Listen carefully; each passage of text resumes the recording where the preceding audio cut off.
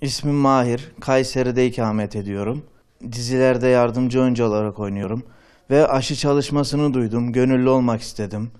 Hani ülkemize, insanlarımıza yararlı olmak istedim.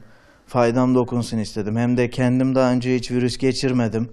Ve bunun önlemini bir an önce almak için kendim gönüllü oldum. İlk aşımızı da 14 geçen geçtiğimiz ayın 14'ünde vuruldum.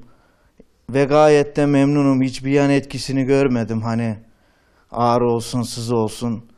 Ve insanlarımıza tavsiye ediyorum. Hani bu aşıyı vurulun. Çünkü çok ölü oluyor ve bu bizi üzüyor. Çünkü can kaybı iyi bir şey değil. Yani bu virüs illeti ülkemize geldi geleli insanlarımız ölüyor. Bu ailemizden biri de olabilir. O yüzden bunun önüne geçmemiz lazım. İkinci aşıyı da 21 gün sonra vuruldum yani bu sabah. Ve hiçbir etkisini görmedim. Aksine antikor etkisi oluşuyor. Size hastalığı daha kolay atlatmanızı sağlıyor. Yani herkese tavsiye ediyorum bu aşıyı vurulmanızı. Çünkü Sağlık Bakanlığı tarafından geliştirilen bir aşı. Vurulmak iyidir bence. Şu an kendimi gayet iyi hissediyorum.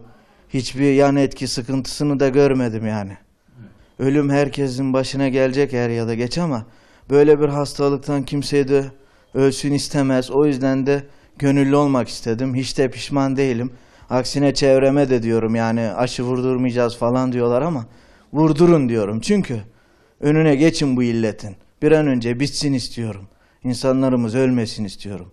Türkiye'miz ve milletimiz için hayırlı olur inşallah. Ee, Mahir Bey'e bugün ikinci dozumuzu yaptık. Ee, zaten bizim ilk dört gönüllüde dozumuz belliydi. Yani bir plasebo yoktu. Ee, ilk iki gönüllümüze 3 mikrogram, e, diğer iki gönüllümüze 6 mikrogram yani yüksek doz uyguladık. Mahir Bey bu yüksek doz uyguladığımız gönüllerden bir tanesiydi.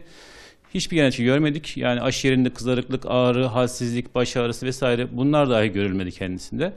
Ve şu ana kadar çok olumlu gidiyor. Yarın sabah da taburcu edeceğiz. Bu bizim aşımızın yani yerli aşımızın e, güvenli olduğunu gösteren bir parametre bizim için.